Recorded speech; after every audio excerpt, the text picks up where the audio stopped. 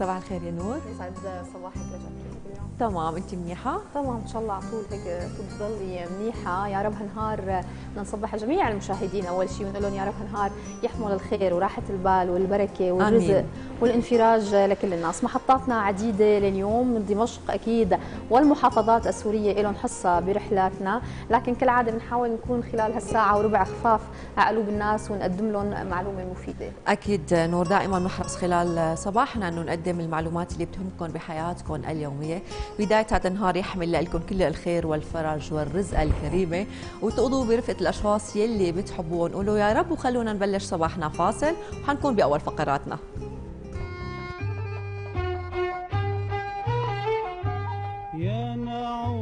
شوي شوي رح تخلص المي. هلأ بتجي غندورة بدها تملي خطي يا نعورة شوي شوي رح تخلص المي. هلأ بتجي غندورة بدها تملي خطي ملي للجراتر مكواي عالتنورة والباب نسيته وقته. بتجيني يا غندورة متل طيور المي بدنا عهالناعورة نقعد نحكي شوي. عبالي طول المشوار لكن ما بقدر تركت الطبخة فوق النار وامي هلأ مش بالبيت بنطر عالناعورة تاتيجي غندورة. وغندورة لما بتجي مجيتها صغيورة. هالشرة بعبيها وبالبيت بفضيها تا ارجع مرة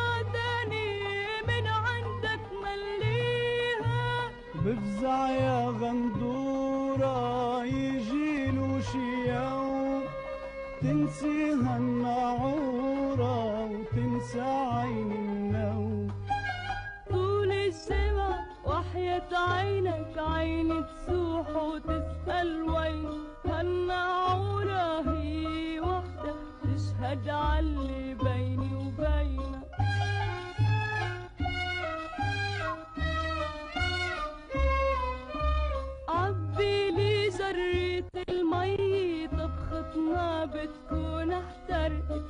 وبيحكوا بالجيل علي لو جارتنا هلا مرقت.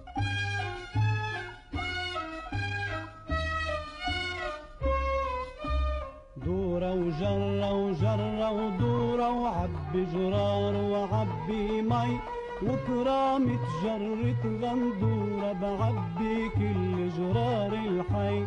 وان صاروا صار اللي صاروا. ما تجوزنا يا غندورة. ضلي انتي زق جرار وأنا بنطر هالنعورة أما هلأ رشا خلينا نروح مثل العادة بتقرير هل تعلمنا نتعرف على أهم المعلومات. ممكن نكون عم نتعرف عليها لأول مرة وممكن تكون مرأة بحياتنا. خلينا نتابع.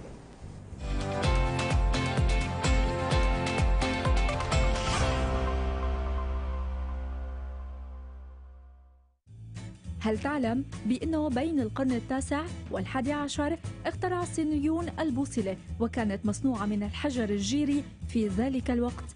وهل تعلم بأنه بعام 1440 اخترع الألماني يوهانس غوتنبرغ آلة الطباعة؟ وهل تعلم أن أول من حصل على براءة اختراع للهاتف الكهربائي هو ألكسندر جراهام وأطلق عليه جهاز الخطاب الكهربائي؟ وهل تعلم بأن المخترع الأساسي للمصباح الكهربائي هو العالم توماس أديسون؟ وهل تعلم بأن عقار البنسلين لوحظ لأول مرة من قبل العالم الأسكتلندي ألكسندر فليمينغ بعام 1928 وهل تعلم بأن عالم الحاسوب لورانس روبرتس هو أول من اخترع شبكة الإنترنت؟ وهل تعلم أن ليوناردو دافنشي هو من اخترع المقاس؟ وهل تعلم بأن النرويجي يوهان فالر هو من اخترع مشبك الورق؟ وهل تعلم أن أول بلد اخترعت فيه الستائر المعدنية هي اليابان؟ وأيضا هل تعلم أنه تم ابتكار الميكروويف بعد أن سافر باحث عبر أنبوب رادار ولوحظ ذوبان لوح شوكولا كان في جيبه وهل تعلم أنه تم اختراع فتاحة العلب بعد أن تم اختراع العلب ب 48 عام وهل تعلم أنه تم اختراع الكرسي الكهربائي من قبل طبيب أسنان أخيرا هل تعلم أنه تم اختراع إشارات المرور قبل السيارات؟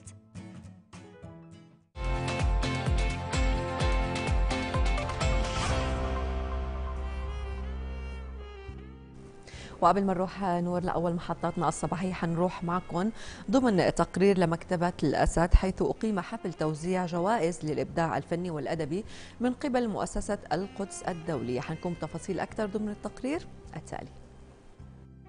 ضمن أجواء احتفالية أقامت مؤسسة القدس الدولية في سوريا حفل توزيع جوائز للإبداع الأدبي والفني في مكتبة الأسد الوطنية بدمشق. بمشاركة الاتحاد الوطني لطلبة سوريا واتحاد الفنانين التشكيليين واتحاد الكتاب العرب. إجراء مسابقة أدبية لكل آه، العالم العربي آه، في القصة والرواية والشعر آه، من أجل فلسطين ومسابقة أيضا فنية بين الفنانين. من أجل فلسطين هو أمر في غاية الأهمية وحدث بالتعاون أيضا مع الاتحاد الوطني لطلب سوريا اتحاد الكتاب العرب اتحاد الفنانين. وهذا يعني إجماع كل المبدعين في دمشق وفي الأمة العربية على أن فلسطين تشكل الوجدان بالنسبة لهم والضمير. هذا النشاط الذي نقوم به سواء كان المعرض الفن التشكيلي أو مسابقات القصة والشعر والرواية تثبت أن قضية فلسطين قضية حاضرة في وجداننا. وأن ما يسمى تطبيع أو يحاول تضخيمه هو كلام ليس له أساس ربما هو على المستوى السياسي ولكن على مستوى القاعدة الشعبية على مستوى الوجدان العام. فقضية فلسطين قضية حاضرة بدليل أن هذه المسابقة شارك فيها من كل الدول العربية من المغرب العربي إلى بلاد آه، النيل إلى الجزيرة العربية إلى بلاد الشام. وأثبتت أن قضية فلسطين مركزية سواء على مستوى الكتاب أو على مستوى الجيل شارك الطلبه طلبة سوريا في هذه المسابقة. اليوم هو في توزيع جوائز وهو نشاط ثقافي يعني بالأساس نشاط ثقافي. ومهم هذا النشاط اليوم أن يكون آه، في تكريم للناس الذين يقدموا للعمل الثقافي ليقدموا للقضايا العربية للقضية الفلسطينية. آه، طبعا هذا هو يعني أحد الأهداف الأساسية لهذه آه، الندوة اليوم والنشاط اليوم. الحفل تضمن إعلان أسماء الأعمال الفائزة وتكريم الفائزين من فئة الكبار والشباب المشاركين من عدة دول عربية كان هناك لجان تحكيم متخصصة وكانت هناك آه، يعني أسس صارمة لتحكيم هذه النصوص التي قدمت والذي فوجئنا به أن الحضور النوعي كان عند الشباب للقضية الفلسطينية، كان هناك حضورا نوعيا. كان هناك حضورا قويا للقضية الفلسطينية عند شبابنا وهذا يؤكد ويبشر بأن مستقبل الأمة بخير وأن شباب الأمة ما زال الوعي القومي وما زال الحضور العربي وما زال حضور القضايا العادله ولا سيما قضية فلسطين كبيرة عند هؤلاء الشباب. تكريمنا اليوم آه، هي مناسبة معنوية أكثر من كونها مناسبة آه، مادية أو إلى آخره من هذه الظروف نحن كشعراء من جهة الشباب دائما ما كنا نبحث عن داعمين وعن جهات راعية لهذه المواهب ولمن يمتلك الفكرة الإبداعية والموهبة الشعرية الحقيقية صراحة هي أهمية كبيرة. آه، ونحن نشعر بالفخر آه، لوقوفنا أمام قامة أدبية آه، وشعرية وهم السادة الحضور والفائزين بالمسابقة بشكل عام. جائزة القدس للإبداع الأدبي والفني تؤكد بكل الوسائل والطرق على رسوخ القضية الفلسطينية وحقوق الشعب الفلسطيني في أذهان الأجيال حاضرا ومستقبلا.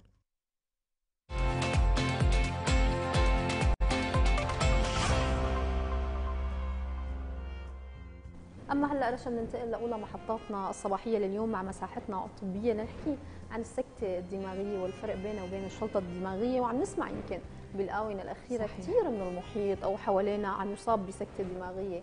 قديش يمكن تلعب الحياة دور نظام الحياة نظام الغذاء؟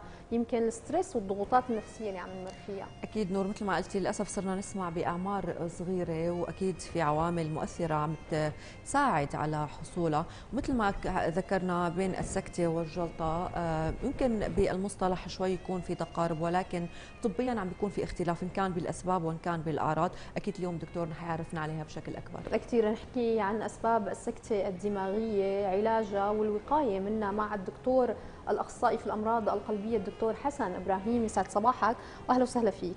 يسعد صباحكم وصباح الخير لكم ولكل بلدنا ولكل المشاهدين. دكتور. أهلا وسهلا بحضرتك. اليوم عم نحكي عن السكتة الدماغية. ومثل ما قلنا يعني للأسف آه، دراسات بتأكد إنه اليوم معظم الوفيات اسبابها أمراض القلب والجلطات. خلينا نحكي بشكل طبي تعريف بشكل طبي عن السكتة الدماغيه ونحن بنعرف إنه هو اضطراب كهربائي ضمن وقت بصير فوضى بالقلب وله أنواع. خلينا هيك من خلال حضرتك نعرف أكثر فيه السكته الدماغيه السكتة الدماغية هي بسبب اضطراب أو سوء عمل وظيفة الدماغ. وهي تحدث عادة بشكل مفاجئ والسبب الرئيسي فيها هو انقطاع أو عدم وصول جريان الدم إلى الدماغ بشكل مفاجئ. الآن لحتى نقول عن السكتة والاحتشاء السكتة تشمل أمرين.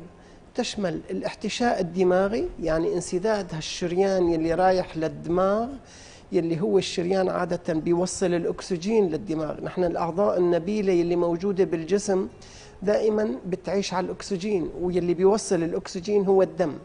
فانسداد هالشريان آه، آه، اللي واصل لهالعضو النبيل وخاصة القلب أو العين أو الدماغ انقطاع جريان الدم وعدم وصول الدم سيحرم هذا العضو النبيل من الأكسجين. وبالتالي سيحدث هناك تنخر وتموت في هالعضو وسوء وظيفته وخاصة إذا كان انقطاع الدم مفاجئ. هلأ الآن لنميز بين السكتة الدماغية وبين الاحتشاء الدماغي. السكتة تشمل أمرين تشمل الاحتشاء الدماغي أو النزف الدماغي. والنزف عادة قد يحدث بسبب آه، معين على سبيل المثال آه، تمييع الدم بشكل كبير على سبيل المثال آه، بسبب ارتفاع التوتر الشرياني الشديد الغير مسيطر عليه. على سبيل المثال في بعض الأمراض اللي ممكن تصيب الدم وتشمل فيما تشمل نقص الصفيحات الدموية. إذا السكتة الدماغية هي إما نزف أو احتشاء دماغي عم يصير بشكل مفاجئ. بيضطرب عمل الدماغ وبالتالي بيشكل أعراض من أعراض الجلطة الدماغية أو ال stroke أو الاحتشاء الدماغي. الآن انقطاع جريان الدم بشكل مفاجئ بده يكون له سبب يا إما في تضيق بواحد من هالشرايين اللي رايح للدماغ أو بسبب خثرة تطلع مع الدم وتروح لهالشريان هذا وتسكره. فهذا هو آه، ال stroke أو الاحتشاء الدماغي والسكتة الدماغية. طيب خلينا نحكي هي بتجي فجأة السكتة الدماغية، إلى أعراض؟ يعني ممكن الواحد ينتبه لها قبل ولا لا ما لها علاقة ممكن تجي فجأة، يعني بعض يمكن المعلومات بنحب نذكرها للناس تنتبه شوي لأنه يمكن ما كثير عندها إلمام بهذا الموضوع وما لهلا الناس ما بتفرق بين السكتة أو الجلطة الدماغية، في أعراض معينة أو ممكن لا ما بتعطي إنذار بتجي فجأة. الأعراض في الاحتشاء الدماغي أو النزف الدماغي متماثلة مم. نحن ما بنقدر نميز ال ال الاحتشاء الدماغي عن النزف الدماغي إلا بشغلة واحدة بالتصوير الطبقي المحوري للدماغ أو الرنين الدماغي مم. لكن الأعراض عادة هي مفاجئة آه خلال آه, آه، أقل من دقيقة دقيقتين بتلاقي المريض صار عنده حبسة كلامية ما عاد قدر يحكي. آه. ضعفت إيده ما عاد قدر يرفعها. تقلت رجله ما عاد قدر يمشي. بتلاقي المريض صار عنده آه، عرج لما يمشي. في أي جهة حكيم؟ ها ها هلأ رح نقول إن إحنا عادة في وحدة من الجهتين. هلا حسب نحن دائما لازم نعرف شغلة إنه الدماغ هو المسيطر والمسؤول عن كافة حركات وأعضاء ووظائف الجسم م. وكل منطقة في الجسم آه لها منطقة تمثلها بالدماغ صحيح. مثلا نحن لما نشوف في منطقة اسمها منطقة البصر في في الفص الخلفي من الدماغ آه الإيد لها منطقة آه مشرفة عليها صحيح. في آه قشر في القشره المخية الرجل نفس الشيء الكلام نفس الشيء البلع نفس الشيء فالإنسان عادة حسب ما يكون الشريان كبير المصاب أو يكون شريان صغير. إذا كان على سبيل المثال شريان كبير يعني الشريان السباتي اللي رايح بيروي معظم نصف الكرة المخية إذا تسكر من منشأه هذا رح يساوي فالج كامل. المريض خلص ما عاد يقدر يوقف ولا يقوم ولا يمشي وتنشل إيده ورجله ما عاد يقدر يحكي وما عاد يقدر يمسك المسرات حتى بيصير عنده انفلات مسرات ما عاد يقدر يبلع. آه، ما عاد يعني يفقد الحركة نهائيا. لكن ممكن يكون شريان صغير مصاب. مثلا راحت الجلطة على سبيل المثال للمنطقة اللي مسؤولة عن حركة الإيد بتلاقي ضعفت إيده ما عاد يقدر يرفعها. تقلت رجله ما عاد يقدر يرفعها ما عاد يقدر يمشي. أحيانا إيده ورجله اثنين سوا. أحيانا ما عاد يشوف يفقد الرؤية بشكل آه كامل. آه أحيانا آه ما عاد يقدر يبلع. فهي حسب المنطقة المصابة وحسب حجم الشريان المصاب يلي رح يسكر. هلأ خلينا نميز بين آه، الجلطة اللي هي رح تساوي فالج أو تصيب آه، تساوي ستروك أو تساوي لنا حادث وعائي دماغي مثل ما نحن بنسميه. آه، وبين الاحتشاء العابر.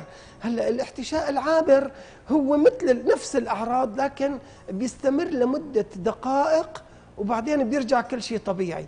طب ليش بيصير هذا أحيانا بيكون في شيء شريان متضيق تضيق شديد عم يوصل الدم للدماغ. نتيجة شدة نفسية معينة نتيجة توتر معين نتيجة أخذ دواء معين. هالشريان هذا إذا تشنج وهو بالأصل آه. متضيق سكر الشريان. هلأ إذا رجع فتح الشريان بتلاقي بترجع الأعراض كلها طبيعية. ولذلك بتلاقي صار عنده حادث وعائي دماغي عابر أو نشبة عابرة. مم. بعدين هالنشبة هي راحت وانحلت وفتح الشريان ورجع الدم ورجعت حركة الإيد والرجل. لكن المشكلة نقول إنه يعني نحن بنقولها بالعامية إنه كان في خسرة آه، ومشيت. تمام. سببت جلطة ومشيت يعني. تمام. فرجع رجع الإنسان لحركته لإيده وهي هي عامل منذر منبه إن لحتى نرجع نحن نستقصي الدراسه ونشوف ليش عم تصير هي ونحاول نحول دون عودة هالاحتشاء الدماغي مرة ثانية. إذا خلينا نقول انسداد الشريان بشكل مفاجئ رح يساوي لنا آه، ضعف في نصف الجسم أو خدر أو عدم القدرة على استعمال عضو معين أو عدم استعمال آه، القدرة على استعمال حركة الساق أو الإيد آه، أو مثلا ميلان بتتم أحيانا أو عدم القدرة على إغلاق العين. بتلاقي المريض لما يبتسم بصير تمه مايل. على جنب تمام تمام. فهي هي أعراض الاحتشاء الدماغي أو ال stroke أو النشبة الدماغية. بس ذكرت خلال حديثك يمكن دكتور إنه نحن بنروح بندرس الحالة لنعرف أسباب الاحتشاء الدماغي. في أسباب رئيسية من الضغوطات النفسية؟ يعني ال stress والضغط النفسي بيلعب دور. لما عم نحكي عن شريان ضيق ممكن يتش... يعني يتشنج ويتسكر قديش بيلعب يمكن الحالة النفسية؟ ويمكن كلياتنا اليوم أكيد. منضغط وبتسمع دائما يعني بأمراض صرت ما كنت تسمعها قبل عند الشباب بسبب الحالة النفسية والستريس. هلا للأمانة الحالة النفسية ما هي السبب المباشر للموضوع. آه من العوامل المؤثرة. نحن بدنا نشوف شو السبب المباشر لحدوث الاحتشاء الدماغي أو النزف الدماغي. مم. خلينا نميز بين اثنين. قلنا قبل شوي إنه النزف الدماغي قد يكون بسبب ارتفاع التوتر الشرياني الشديد الخبيث الغير مسيطر عليه. ممكن يكون بسبب أمراض معينة تصيب الدم وقد يكون بسبب التمييع الزايد للدم. فهذا النزف لما يساوي لي آه، نزف داخل الدماغ رح يساوي لي نفس الأعراض. هلأ إذا كان النزف في منطقة خارج تحت العنكبوته أو تحت الجافية وكان النزف كثير ممكن يتداخل عليه جراحيا وممكن إرشافه. لكن لا شك إنه هذا بده وقت لحتى إذا كان النزف قليل ما أكيد ما راح يتداخلوا عليه جراحيا. لكن هذا هو الحالة النادرة أو القليلة اللي هي ما لا تمثل 20% من الحوادث الوعائية الدماغية أو الستروك. لكن السبب الأشيع هو الاحتشاء الدماغي. طب شو سبب الاحتشاء الدماغي؟ طبعا. خلينا نميز بين شغلتين. الشغلة الأولانية هي اللي هي التصلب العصيدي والتصلب العصيدي اللي بيلعب دور فيه كثير آه، هو آه، تطور الحياة ونوعية الغذاء وكثير عوامل بتلعب دور يأتي على رأسها على سبيل المثال التدخين يأتي على رأسها تناول الدهون والدسم آه، آه، المهدرجة آه، يأتي على رأسها الداء السكري وإضافة لارتفاع التوتر الشرياني كمان هذا بيساوي لي تصلب شرايين. والغذاء يلي هو شغلة أساسية تناول الكحول وأنا بأكد على شغلة كمان مهمة كثير كثير كثير اللي هي التدخين. فهذا بيساوي لي شغلتين. بيساوي لي أول شيء تصلب عام في الشرايين وخاصة الشرايين الدماغية والشريانات الصغيرة. ولذلك أنا كثير بشوف أحيانا بالتصوير الطبقي اعتلال آه، دماغي إقفاري بسبب نقص التروية الدماغية. لكن السبب المفاجئ اللي يحدث عادة آه، الاحتشاء الدماغي فهو يحدث بسبب خثرة هذه الخثرة تنطلق مع الدم من القلب لأنه يلي بيوصل الدم آه، آه، للدماغ هو القلب والأوعية. فأنا عندي شغلتين الشغلة الأولانية هي القلب يلي هي مصدر هالصمات وأنا بشوف هالصمات تطلع من القلب بسببين مهمين. السبب الأولاني هو اضطرابات النظم القلبية ويأتي على على رأسها الرجفان الأذيني شو هو الرجفان الأذيني؟ أنا بعرف القلب يتألف من جوفين بطين أيسر وبطين أيمن وأذينتين أذين يمنى وأذين يسرى فلما تكون الأذين اليسرى كبيرة كتير بسبب تضيق في الصمام التاجي أو لما يكون في عندي آه، آه، آه، رجفان أذيني الرجفان هو عادة الأذيني عم تتقلص شيء 500 ل 600 تقلصة في الدقيقة الواحدة. فهي ما عم تقدر تتقلص. فلما ما عم تتقلص عم يصير فيها ركودة دموية. في منطقة بالأذين اسمها اللسينة الدم ما بيتحرك فيها فبيصير فيها خثرات. هلأ إذا راحت خثرة من الأذين على البطين الأيسر وضخ البطين الأيسر هالخثرة هي وراحت للدماغ هي اللي راح تساوي لي الفالج أو الاحتشاء الدماغي أو النشبة أو الخثرة أو الجلطة الدماغية وراح يصير الإنسان عنده شلل. هذا أهم سبب. ممكن نشوفها أحيانا باعتلال العضلة القلبية التوسع الشديد وخاصة في الاحتشاء الأمامي. الجدار الأمامي وقمة البطين الأيسر ما عم تتحرك فبيصير ركودة للدم على جدار البطين. إذا صار ركودة وصار خثرة دموية وتقلص البطين وراحت وحدة للدماغ أكيد رح تساوي لي فالج واحتشاء دماغي. اذا هدول أهم مرضين بيصيبوا القلب وبيساووا لي جلطات دماغية. إضافة لهالشيء في الشرايين يلي عم توصل الدم للدماغ. هدول أهم شريانين يلي هن الشريان الشريانين السباتيين فإذا كان هالشريان السباتي صار في عصايد بسبب تصلب الشرايين وأسبابه يلي حكيناها قبل شوي يلي هي التدخين والسكري والضغط وهدول العوامل آه فلما يصير في تكلس وتضيق بالشريان آه، أحيانا إذا آه، سكر هذا الشريان بسبب التضيق راح يساوي لي الفالج. وهذا أنا بقدر شخصه بسهولة بواسطة الإيكو أو جهاز الصدى. يعني بقدر أنا أصور هالشرايين وبشوف إذا فيهم تضيق ولا لا. طيب حكيم خلينا نروح حكينا بالأسباب حكينا بالأعراض والعوامل المؤثرة الخارجية اللي بتأثر على وجود السكتة أو الجلطة. اليوم خلينا نروح على رحلة العلاج طبيا. اليوم الدكتور كيف آه، شو هو الكورس اللي بيدخل المريض من خلاله لرحلة العلاج؟ هلا خلينا نبدأ أول شيء قبل العلاج بالوقاية. أنا لحتى ما أوصل لهالمرحلة هي إذا عندي مشكلة قلبية خليني أعالجها بشكل صحيح عن طبيب القلبية.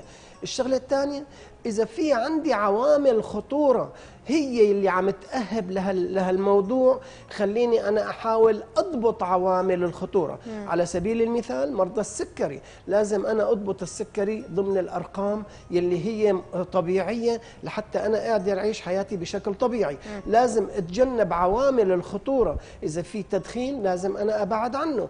الشرب يجب تجنبه. آه إذا كان أنا عندي شيء أمور معينة على سبيل المثال وعلى رأسها في كوليسترول نوع من أنواع الكوليسترول الكوليسترول اللي هو LDL كوليسترول اللي ذرته صغيرة بتسكر الشرايين وبتصلبها. أنا لازم أعالجه بشكل جيد. هلأ لما تصير المشكلة هون الموضوع بقى.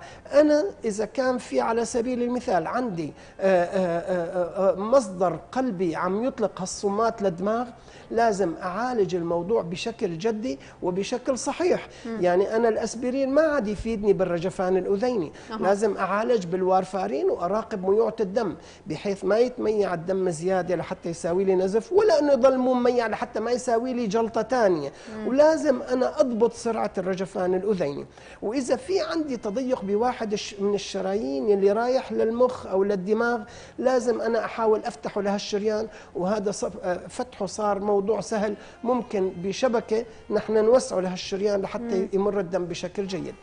هلأ المشكلة والكارثة لما يصير الاحتشاء الدماغي. هلا أنا عرفت شلون أنا لازم أمنع الاحتشاء وأمنع آه، حدوثه. لازم هلا إذا صار هون لازم أنا أعتمد على آه، يعني محاولة إعادة تأهيل المريض بشكل جيد.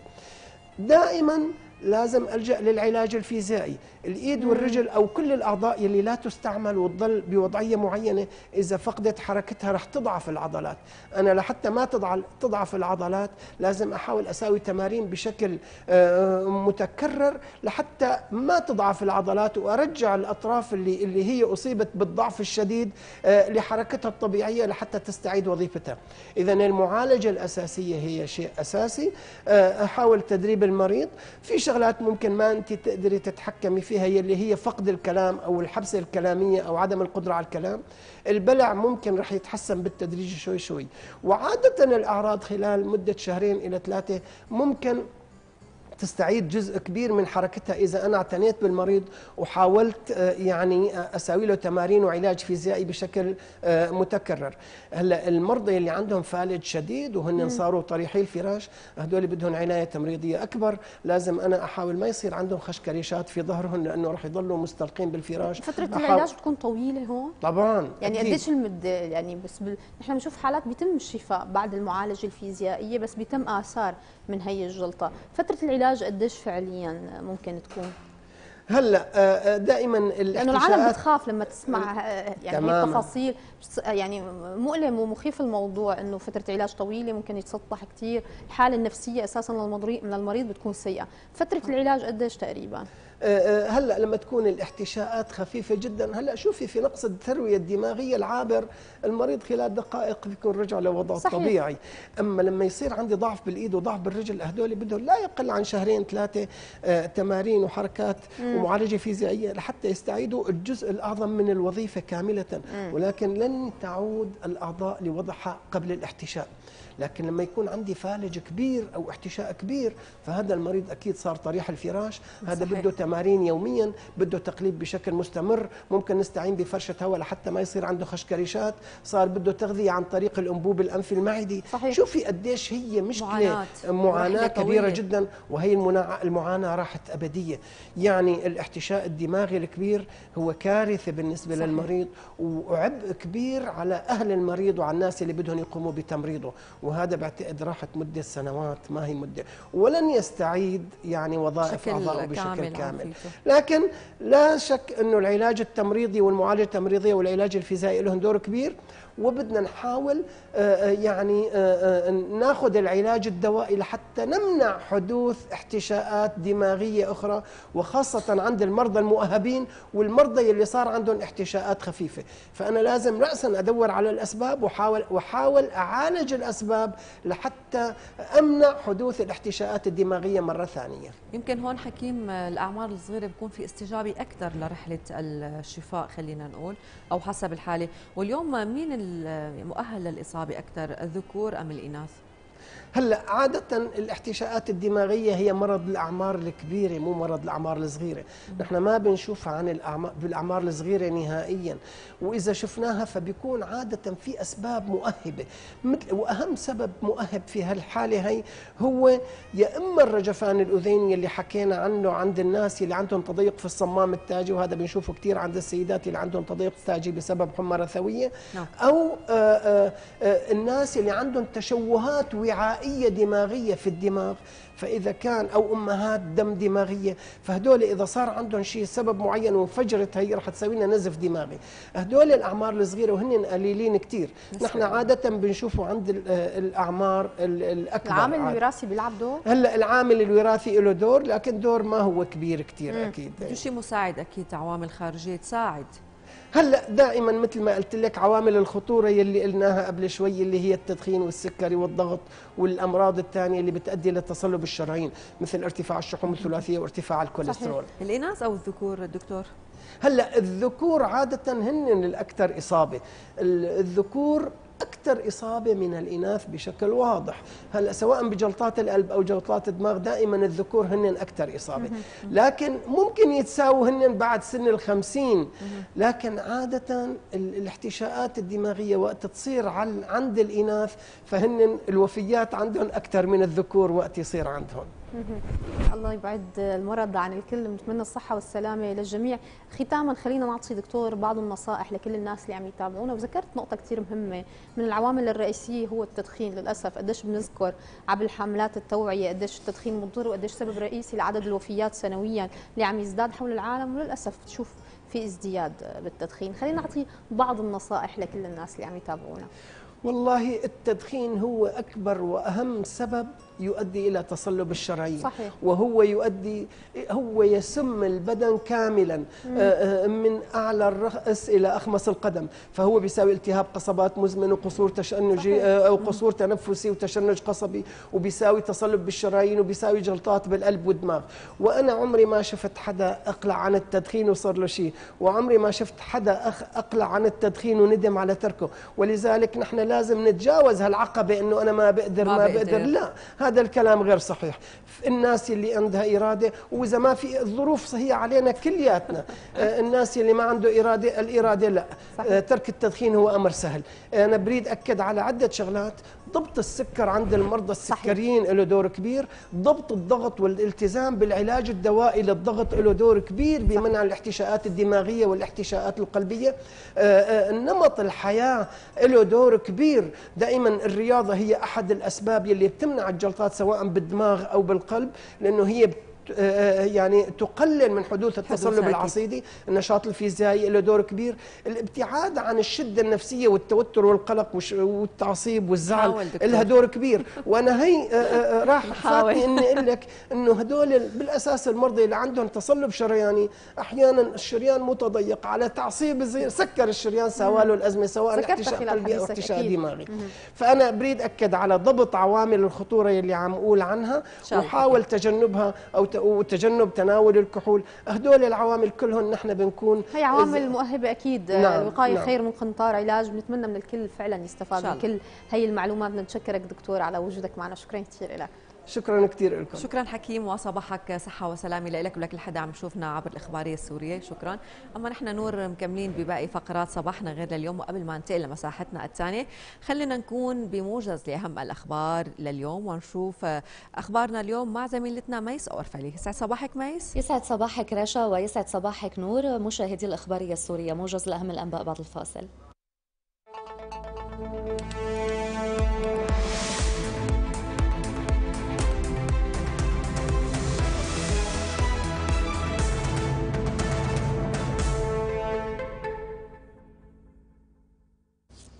أدانت سوريا القرار التعسفي الذي دفعت إلى اتخاذه الولايات المتحدة الأمريكية والدول الغربية ضد إيران في اجتماع طارئ لمجلس حقوق الإنسان في جنيف.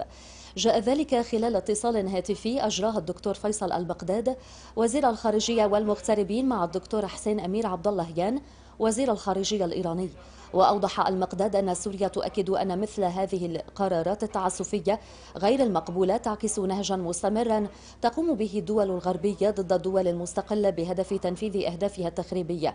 وعبر المقداد عن ضمان عن تضامن سوريا قيادة وحكومة وشعبا مع حكومة وقيادة وشعب إيران. من جهته نوه عبد الله يان بتضامن سوريا مع إيران وشعبها مبينا أن الشعب الإيراني ومن خلال رده على أعمال الشغب أكد إيمانه بثورته وبالدور الذي تقوم به إيران داخليا وخارجيا لمواجهة جميع المؤامرات الغربية.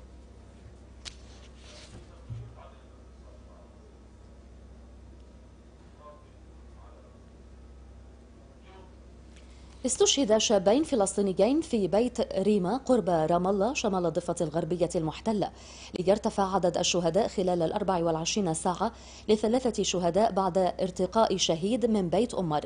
وأعلنت مصادر طبية عن استشهاد الشاب جواد عبد الرحمن ريماوي لرصاصة في الحوض ثم شقيقه ظافر برصاصة في الصدر بعد إطلاق الاحتلال الإسرائيلي النار عليهما في بيت ريما. هذا وكان في وقت سابق استشهد شاب فيما أصيب عدد من الفلسطينيين مساء أمس في مواجهات مع قوات الاحتلال الإسرائيلي في بلدة بيت أمر شمال الخليل بالضفة الغربية المحتلة.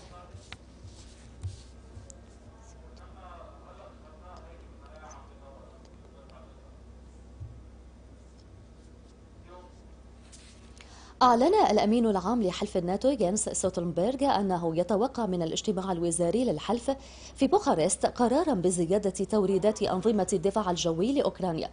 وقال قبيل انطلاق اجتماع وزراء خارجية الناتو في العاصمة الرومانية أتوقع أن إحدى الرسائل في ختام لقاء وزراء الخارجية في بوخارست هي ضرورة لزيادة توريدات أنظمة الدفاع الجوي وكذلك قطع الغيار والذخيرة لمختلف أنظمة الدفاع الجوي الأوكرانية والتدريب على استخدامها أيضا. يذكر أن بوخارست تستضيف الاجتماع الوزاري للناتو خلال الفترة بين الثامن والعشرين إلى الثلاثين من الشهر الجاري.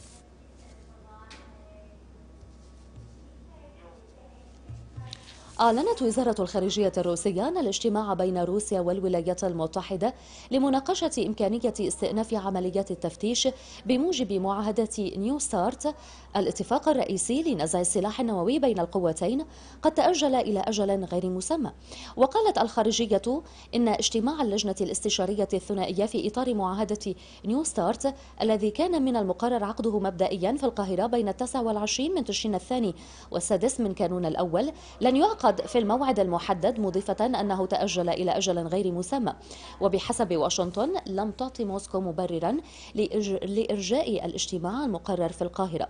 وقال المتحدث باسم مجلس الأمن القومي الأمريكي جون كيربي لم نتلقى إجابة حقيقية من الروس لتفسير الأسباب التي دفعتهم لإرجاء الاجتماع.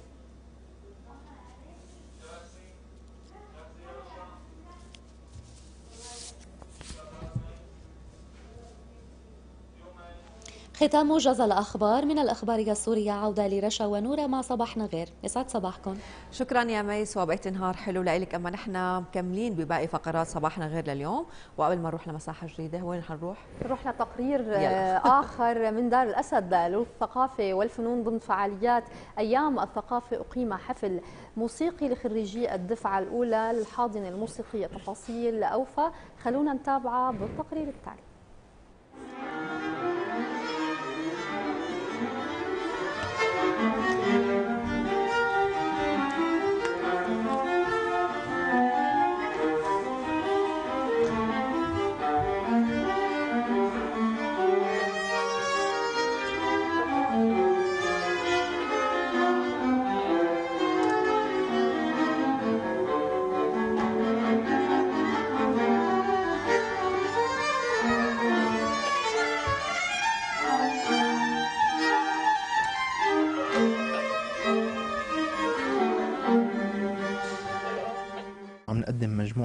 الموسيقية الكلاسيكية.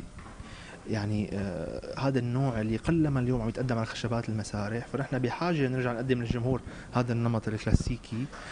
وما يسمى موسيقى الحجرة. طبعا موسيقى الحجرة هي النسخة مثل ما حكينا النسخة المصغره عن الأوركسترا. فنحن هون في آه على عاتق كل عازف أهمية مضاعفة حتى يعزف دوره بدقة تماما يفهم العمل. أحيانا نحن بنسمع العمل اللي عم نعزفه من مثلا من على اليوتيوب من فرقة معينة بنسمعه من كذا فرقة لنشوف كيف الأساليب. يعني ممكن العازف يضيف شيء من روحه أكيد. فلحتى نحن نبني شخصيتنا بالنهاية كيف عم نأدي هذا العمل. مشروع الحاضنة الموسيقية هو بيستهدف آه، الخريجين الشباب. آه، طبعا نحن مجموعة آه، من الخريجين وفي بعض الطلاب كمان السنين المتقدمة مع كمان الأساتذة الكبار. هو مشروع موسيقى حجرة. أنا شاركت في من البداية كنت بالبداية يعني دور البيانو ما كان كتير أساسي. نحن البيانو ممكن يكون مرافقة للآلات الثانية أو للغناء كنت بالبداية مع المغنيين. آه، اليوم بحفلة الختام البيانو آه، اليوم أساسي بهي القطعة.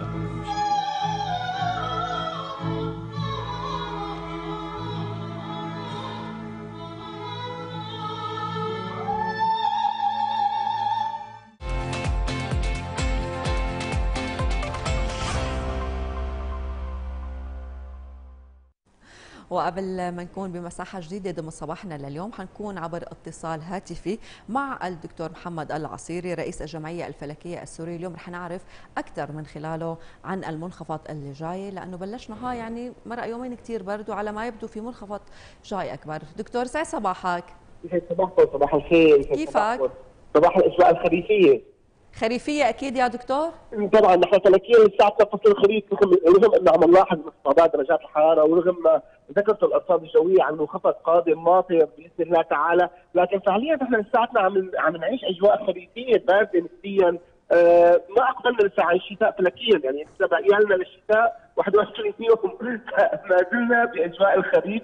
رغم أنه هذا الخريف كان مميز جدا بأمطاره بدرجات حرارته. الناس لمست البرد فيه يعني بدأ البرد باكرا فيه. لكن فعليا وفلكيا نحن لم ندخل بعد فصل الشتاء. اللي ببلش طبعا ب 21 كانون الأول يعني لسه باقي له 21 يوم. آه متوقع يعني مثل ما لاحظتوا أنه مبين بوادر هذا الشتاء من خلال هذا الخريف التسلسل المنخفضات اللي عم تكون غزارة امطارها آه الاجواء الباردة كلها هي مؤشرات لفصل الشتاء قادم لكن رغم هذه البرودة آه أنا حابب أشير لموضوع أنه نحن كجمعيه فلكية سوريه مرتفع حرارتنا هالأيام بانتظار آه نتائج مهمة جدا للشعب السوري اللي هي موضوع تسمية كوكب ونجم. بأسماء آه سورية. اليوم انتهينا تماما من ملف. هو تسمية أحد الكواكب المكتشفة حول أحد النجوم. بدنا نطرح عليه اسم نطلق عليه اسم.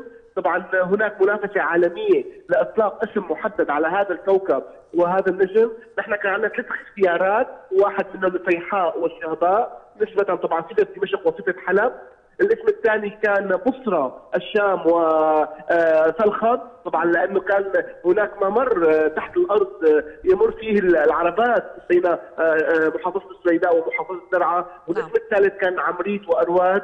نحن ننافس على هذه الأسماء الثلاثة بالاتحاد الدولي للفلك. سعيا منا لأنه يكون فعلا الاسم الثالث بعد تدمر بعد نجم ابلا بعد كوكب تدمر بعد كوكب اوكاري أن يكون لدينا أيضا أثر ثالث باسم لكوكب ونجم مكتشفين حديثا خارج مجموعتنا الشمسية. نعم. طيب خلينا نحكي معك أستاذ محمد عن نشاطات الجمعية السورية الفلكية. مع نهاية العام يعني عم نحكي عم نحكي عن إنجاز مهم في بعض نشاطات لسه محضرين لنا وخلينا نحكي عن العام المقبل بما إنه عم نودع عام 2022 نستقبل عام 2023 دائما معكم في جديد دائما في نشاطات وفعاليات لسوريا ضمن الجمعية مو فقط على مستوى سوريا. نحن عم نحكي عن مشاركة دولية وعالمية. صحيح بالضبط. نحن السنة الجايه كثير محضرين بالذات بعد الانتصار اللي حققناه باخذنا المركز الثاني على مستوى العالم بعام 2022 بالنشاطات، يعني سوريا الحمد لله رب العالمين أخذت المركز الثاني على مستوى كل العالم بنشاطات الفلكية لعام 2000 من عام 2018 لعام 2022 لأنه هي كل أربع سنين بصير التقييم مرة، هلا نحن محضرين كثير شغل لعام من عام 2022 نهايته يعني عام 2023 لعام 2026 منها نحن عم نسعى لأنه ننقسم لقسمين، القسم الأول هو موضوع اكتشافات الكواكب خارج المجموعة الشمسية وتسميتها وترك بصمه سورية على هذه الكواكب الحديثة، إضافة إلى ذلك المشاركه بأي مهمه إلى الفضاء سواء من خلال بعض التجارب اللي نحن كأعضاء الاتحاد الدولي الفلكي حق لنا أن نشارك ببعض التجارب العلمية أو اقتراح بعض التفاصيل الصغيرة، إضافة إلى ذلك عندنا الخط الشعبي أو المجتمعي. اللي نحن عم نسعى من خلاله انه ننشر هذا العلم على المستوى الشعبي، عام 2023 يمكن نحن حنكون عندنا خسوف جزئي، رح نكون مستعدين له بشكل كثير كبير لأنه ننظر تكون الدعوة عامة، إضافة إلى ذلك الظواهر المتكررة كالهطل الشهابي، آه كالعبور، ظواهر عبور الكواكب، كلها هي وحنكون فاتحين باب المرصد بشكل أكبر للناس المهتمة إنه تزورها، بمعنى إنه حتكون السنة القادمة فعلا بالنسبة لنا سنة عمل لأنه حابين نحن مو بس ندخل الاتحاد الدولي الفلك ونضل فيه لا ونترك بصمه مهمة جدا للنشاط في سوريا، يعني يوم عن يوم نحن عم نحاول يكون نشاطنا توعوي في أفكار جديدة دائما تتوجه سواء للفلك الصغير للأطفال أو حتى للشباب المبادرات الشبابية. تعطيهم مساحة إنه يقدروا هن يتألقوا، يقدروا يعطوا شيء من قلبهم، يقدروا يبدعوا، يعني نحن بحاجة لهالشباب يبدعوا ويكون لهم مساحة كبيرة يعبروا عن أفكارهم، هذا الشيء يعني عم نحاول نحن السنة الجاية حنحاول السنة الجاية نفتح المجال للشباب إنه يكون لهم دور كثير طب خلينا نحكي عن الظواهر الفلكية المهمة. يعني دائما في ظواهر فلكية مهمة تحدث والجمعية السورية الفلكية دائما بحالة رصد لهي الظواهر ونحن بنتابعها عبر وسائل السوشيال ميديا وعبر وسائل الإعلام. في ظواهر فلكية مهمة ممكن نسلط الضوء عليها بحيث إنه رح يكون إلى دور الجمعية السورية الفلكية برصدها عالميا. تماما. أول شيء بعام 2023 عندنا ظاهرة خسوف للقمر رح يكون هذا الخسوف مهم جدا بالنسبة لنا لنسبته العالية جدا. رح يكون في استعداد كامل لرصده. إضافة لهالشيء عبور الأرض بزي المذنب تمبل تطل ب 11 12 آب وعبور المذنب سويس تطل ب 17 18 تشرين ثاني. هدول ست آه، خلينا نسميهم ثلاث محطات من المحطات الأكبر.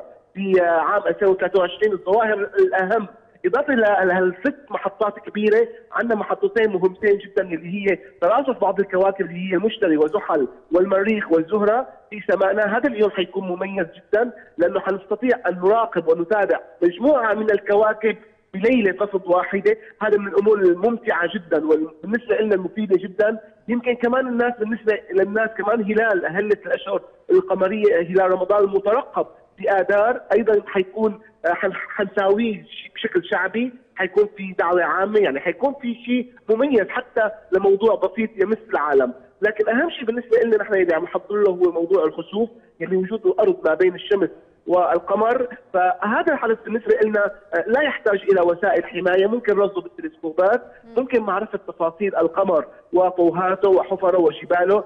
رصد القمر بالتلسكوب الكبير اللي هو ثاني أكبر تلسكوب بالوطن العربي بيتيح للمشاركين أنه يشوفوا تفاصيل القمر بشكل لم يسبق لهم أنه شافوها، بالتالي هذا اليوم بالنسبة لنا هو يمكن اميز يوم حيكون بعام 2023 لكن لا يعني أنه ما في دائما نشاطات مرافقه قبل وبعد وتمهيد. طيب. طيب أستاذ اليوم دكتور خلينا نحكي هيك. آه، صار شيء صور جديدة من الاقمار الصناعيه تم رصد شيء صور جديدة؟ فيديوهات جديدة؟ طبعا دائما في فيديوهات جديدة و... وأخبار جديدة ويوم يوم عن يوم نحن معلوماتنا الفلكية عم تزداد بسبب إنه يوم عن يوم في مهمة فضائية، يوم عن يوم في توابع صناعية عم تنطلق يوم عن يوم عم يصلنا صور. يعني هلأ مثلا أرتميس واحد المهمة اللي حتكون مأهوله بعام 2025 أرتميس واحد وصلت ودارت للوجه الآخر من القمر وبدأت في ارسال صور للوجه الآخر من القمر. هذا الوجه يلي معظم اكتشفوه السوفييت بالسبعينات القرن الماضي. آه هذه المهمه مهمة جدا. بالصور التي أرسلتها بكميات المياه من أهم الصور. أنا بحب لكم إنه امبارح تحديدا كنا بليلة رصد رغم هذا البلد ورغم هالجو كنا بليلة رصد راقبنا كوكب المشت... المريخ عفوا. المريخ وجدنا كمية الثلوج على كوكب المريخ. يعني نحن الشتاء عندنا لسه ما بلش وكانت برودته هيك. المريخ الشتاء عنده بلش لكن بلش بشكل غريب تماما. المسافة التي غطاها اللون الأبيض على كوكب المريخ كانت من الحالات النادرة. والله شفناها بعيننا امبارح في التلسكوبات يعني شفناها عبر التلسكوب على البرنامج على الشاشة. فرجينا عدد كبير من الناس كيف هذا الغطاء الأبيض غطى القلنسوتين المريخيتين بلون أبيض واضح تماما. فاستشعرنا الشتاء على الأرض. يعني خلى المريخ نستشعر آه، الشتاء على الأرض. كيف هذا الغطاء امتد لمسافة لم يمتد عليها سابقا؟ يعني نحن عم نحكي سابقا في زمن التلسكوبات. فمن زمن ما تم رصد المريخ حتى اليوم هذه أكبر مساحة يغطيها الجليد على كوكب المريخ. هذا بيدل انه النشاط الشمسي منخفض نسبيا البقعة الشمسية زايدة نسبيا وبالتالي الشمس ما عم تطلق الحرارة الكافية لتذيب آه، الجليد على كوكب المريخ. وهذا يعني أيضا أنه فعلا كمان على الأرض آه، ممكن نكون نحن مقتربين من شتاء قارس نسبيا بشرة خير يا دكتور. يعني عم لنا شتاء قارس يعني نحن اليوم كنا متأملين في مثل هيك عنا نور بيقول بين تشرين اول تشرين ثاني في صيف يعني. لبين ما نأمن بس المازوتات هدول القصص تبعت الشتوية يعني. هلا نحن طلعنا من تشرين الأول وتشرين الثاني هلا دخلنا بقانون الأول بقى خلاص ما عاد دخلنا بالجدول بردات طيب ختاما سريعا أستاذ محمد خلينا نحكي بالختام نشاطات آه، الجمعية السورية الفلكية لعام 2022 في بالختام العام في نشاطات فاعلة رح تقوموا فيها؟ تمام مستمرين نحن يعني حتى لسه باقي لنا بضع أيام على نهاية هذا العام. رغم إنه في بضع أيام لنهاية هذا العام نحن عم نستثمر هالبضع أيام قريبا رح نطلق موقعنا على الإنترنت باللغة العربية والإنجليزية لحتى تكون نافذة للعالم على سوريا وعلى النشاطات الفلكية السوريه رح نحاول نطلقه قبل بداية عام 2023 إضافة إلى ذلك كمان نحن حاضرين لليله فلكيه في نهايه العام. من خلالها نشرح للناس عن الكوكبات السماوية والفرق بينها وبين الأبراج ونحكي فيها عن القمر وجمالية القمر لأنه نحن بنتميز عنا سماء الخريف خلينا نسميها بالصفاء الكامل. وهي أفضل أوقات الرصد الفلكي ما بين الخريف والشتاء. فهيك نحن مستعدين لها بشكل كثير دكتور بدنا نشكر اليوم كل المعلومات وتواجدك معنا عبر اتصال هاتفي الدكتور محمد العصيري رئيس الجمعية الفلكية السورية. شكرا لحضرتك. وإن شاء الله هذا هيك الشتوية بتمرق خفيفة علينا. إن شاء الله إن شاء الله. يسعد صباحكم يا رب إن شاء الله شكرا. شكرا لك نتمنى لكم التوفيق. وجهود كبيرة عم تقوم فيها الجمعيه السورية الفلكية لتثبت اسمها مو فقط على مستوى سوريا على مستوى العالم. شكرا كثير لكم أما هلأ مشاهدينا بنروح لمحافظة اللاذقية. وتحديدا مع أجواء مبادرة هوا بحري للامانه السوريه السورية للتنمية لإضافة رونق خاص على الكورنيش الغربي بالمحافظة. التفاصيل خلونا نتابعها بالتقرير التالي. حلة جديدة بأسلوب عصري وخدمات متنوعة تضيف رونقا للكورنيش الغربي في اللاذقية عبر مبادرة هوا بحري للأمانة السورية للتنمية. هدفت المبادرة إلى تحويل الكورنيش الغربي إلى مساحة صديقة تراعي ظروف جميع رواده. من خلال تصميم أربع مقاعد مزودة بألواح طاقة شمسية لإنارة المكان ليلا بالإضافة إلى مآخذ شحن لشحن الأجهزة النقالة. آه، إضافة إلى ذلك تم تركيب آه، رمبات لتسهيل حركة ذوي الإعاقة. تم تخصيص مواقف للدراجات الهوائية بما يراعي الواجهة البحرية لمدينة اللاذقية. نحن بنتمنى كأمانة المجتمع المحلي الحفاظ على المقاعد. عدم رمي الأوساخ. هي المرحلة الأولى ضمن خطة لزيادة عدد المقاعد والخدمات. مبادرة حلوة يعني. هيك واحد بقعد بيرتاح. جميلة. بس يحافظوا عليها. أتمنى من من الجميع. المحافظة على هذه المبادرة والتوعية بشكل خاص لأنها خدمة للناس أجمعين. والشيء اللي بيخدمنا لازم نحافظ عليه. كتير حلوة ومميزة. آه، فيها شغلات يعني مثل إنه الواحد بيجي لهون بيشوف الموقع فيها إنارة المساء. بيجوا بيتسلوا الشباب وبتمنى مني إنه يحافظوا على الشيء كتير حلو. مبادرة هوا بحري تجسد تكامل العمل بين المجتمع الأهلي والجهات المعنية لتحسين الواقع الخدمي والجمالي في مدينة اللاذقية.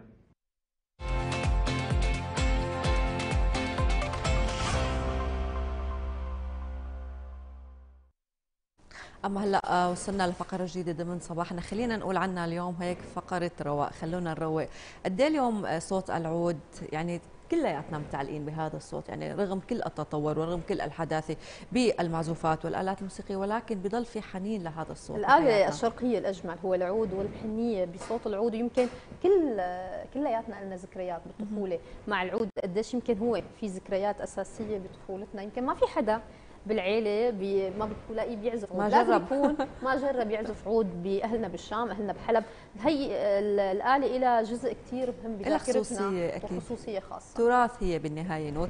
اليوم ضيفنا هو عازف قدر إنه يصنع عوده بنفسه. بينقال عنه إنه هو أول عازف صنع العود. صنع عوده بنفسه. له آه، مؤلفات موسيقية كثيرة وكان له تاريخ بموضوع العود والمؤلفات. اليوم رح نسمعه ونروق عليه بفقرة هيك إن شاء الله حتكون رايقة وتكون على ذوقكم. معنا لليوم الأستاذ حسين السبسبي بدي أقول لك يسعد لي صباحك أستاذ. صباح الخير عليكم وعلى تلفزيوننا الحبيب وعلى بلدنا. أهلا وسهلا بحضرتك. يسعد صباحك وسعيدين بوجودك. أهلا وسهلا فيك. حابب تسمعنا شيء ولا دغري نفوت؟ بالحديث خلينا نروق. خلينا هيك نروق طيب. بمعزوفة نطلع هيك شوي من الاجواء الشتوية. طيب باعتبار إنه نحن الصبح يعني هلأ و...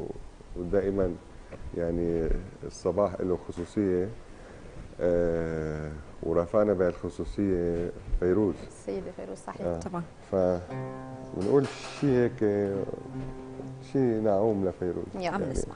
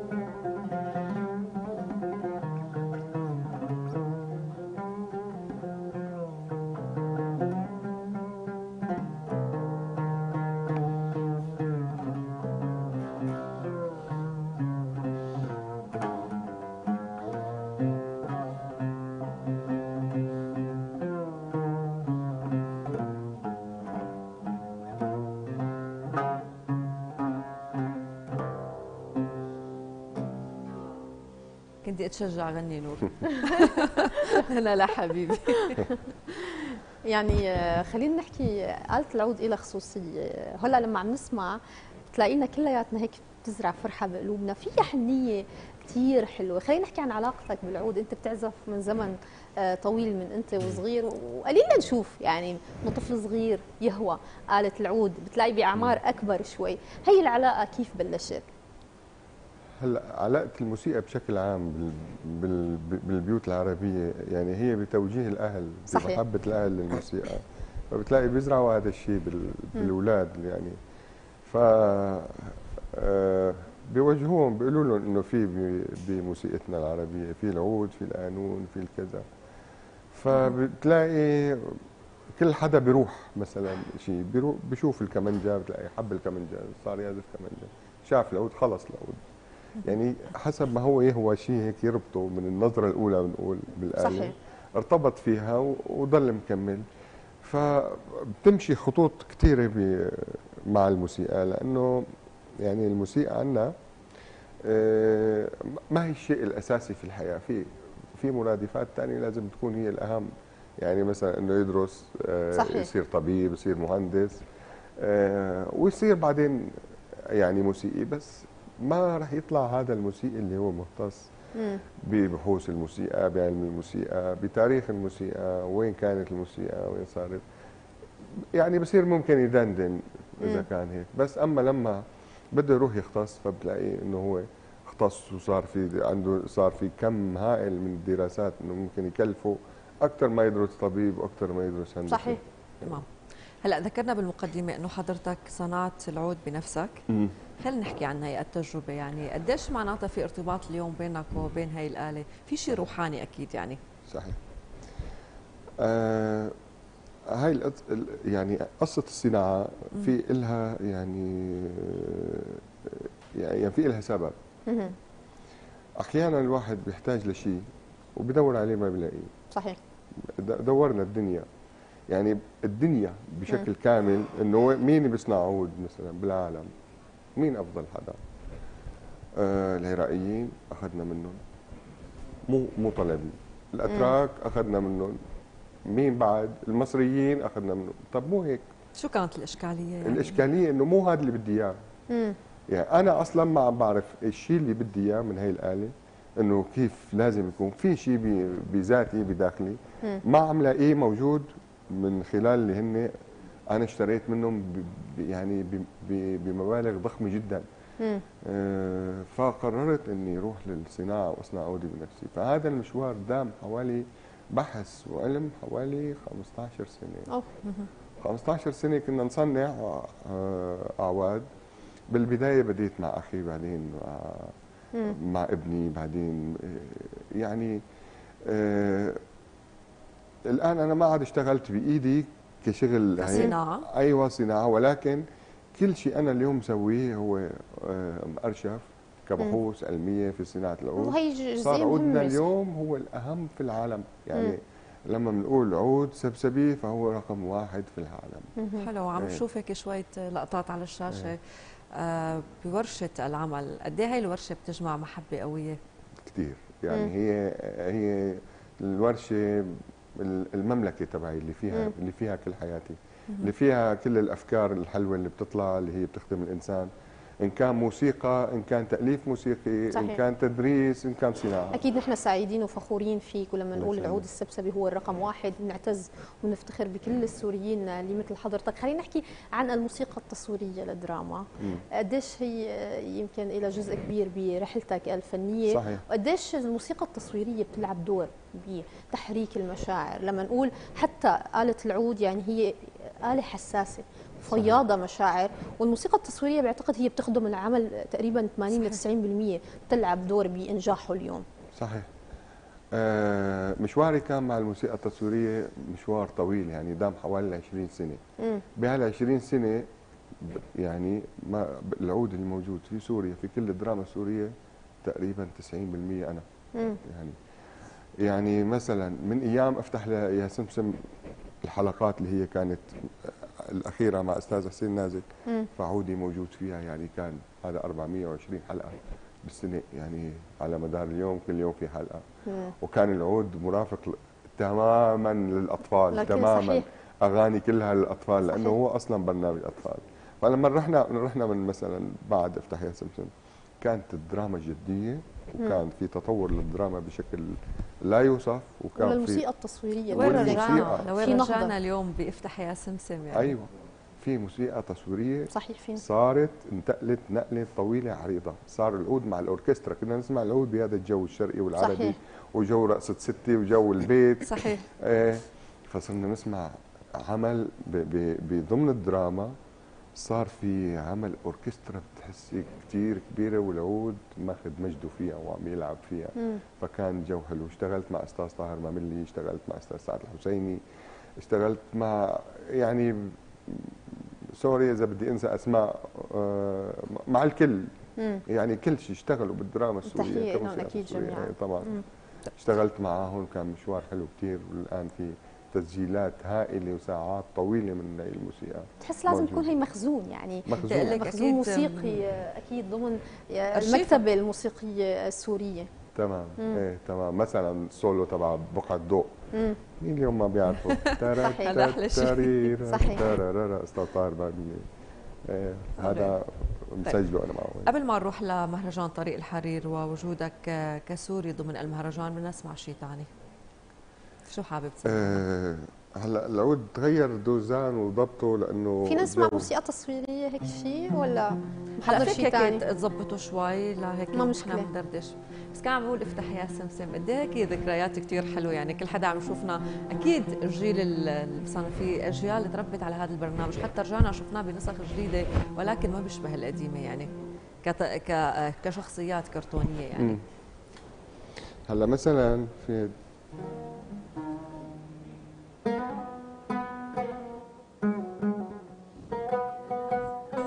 خلوني بحالي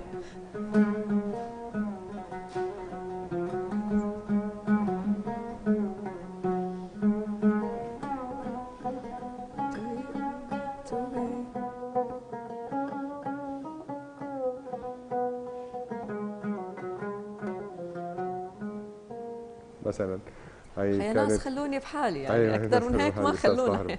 أستاذ طاهر. إيه، اشتغلنا معه كثير موسيقى حلوة الزير سالم. أوه من أجمل نحكي عن يعني علامات إيه، باب الحارة جزء من أول لجزء يمكن 10 12 ما بعرف. نسمع شيء لباب الحارة اليوم. ماني ماني بتذكر شيء لأنه حلقات قديمه صار لها سنين. كون وزير سالم من فتره كانوا عملوا إعادة إيه. إعادة لإله إيه يعني دائما لما بتكون الموسيقى هي آه، يعني ميلودي بيكون مقطع مرافق للدراما فما فينا نتذكر طيب خلينا نحكي عن مشاركتك بمهرجان طريق الحرير كفنان سوري ونحن بننبسط بكل المشاركات السورية بهي المهرجانات لأنه نحن أساسا يعني طالعين من حالة حرب لكن عندنا الحس الثقافي والموسيقي. آه، عالي ومستمرين فيه. يعني وجودك حتى اليوم بالبلد واستمرارك بهذا العمل كمان هيدا إنجاز ضمن ظروف اللي عم نعيشها اليوم حاليا. صحيح. طريق الحرير بيعود الفضل للدكتور سعد الله آغا القلعة. يعني كان إنه هو كان آه، وزير سياحة بهذا الوقت. فكلفني قال لي حسين إنه شو رأيك نعمل هيك شيء مميز؟ آه، قلت له أنا اللي بحب هيك هيك قصص يعني بحب الأشياء نعم. المميزة. فبديت بهذا المشروع آه، كان اللي اللي اللي اشتغل وساعدني بالمشروع بشكل يعني داعم أساسي هو الدكتور سعد الله آغا القلعة ووزارة السياحة. نعم. آه كانوا طاقم ما بنساه من يعني من التفاني والشغل اللي هن اشتغلوه بخصوص ودائما أستاذ الفريق بيعطي طاقة لبعض أيوه بس هو فريق حلو كثير صحيح. إيه. بتأثر وبتتأثر بهذا الفريق. قبل نعم. ما نكفي حديثنا معك إيه. آه، معنا اتصال هاتفي حنروح آه، نسمع اليوم عن الفعاليات. حننتقل ضمن اتصال هاتفي للاستاذه ريم إبراهيم لنحكي أكثر عن ملف الأعواد في برنامج التراث الحي في الأمانة السورية للتنمية. يسعد صباحك ست ريم. صباح الخير يسعد صباحك. صباح الخير يسعد صباحك. بما انه معنا الأستاذ حسين خلينا نحكي عن فعالية إدراج العود السوري على قائمة اليونسكو لحفظ التراث اليوم. آه بداية خليني أرجع اصبح عليكم بكل الخير وصباح الخير لأستاذ حسين. آه صباح الورد. منور اليوم. وصباحنا أكيد حلو بهالحكيات الحلوين وبالمعزوفات الحلوين يلي عم تقدم لنا إياهم.